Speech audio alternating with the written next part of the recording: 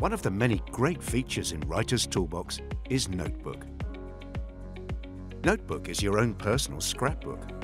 Here you can store ideas, notes, research, even images in one handy location. Indeed, you aren't limited to one notebook. You can create multiple notebooks, so each time you have a new topic to explore, add another notebook.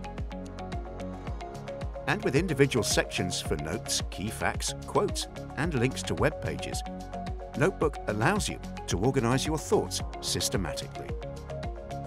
To create a note, simply start typing.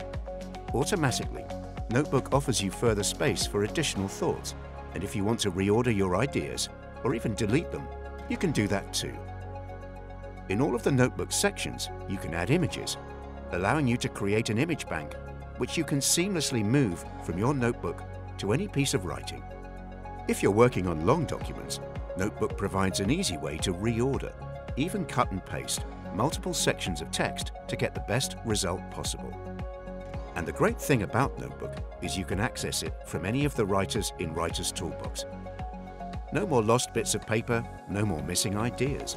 Notebook brings it all together in one single resource. And to leave Notebook, simply click on any of the other tools.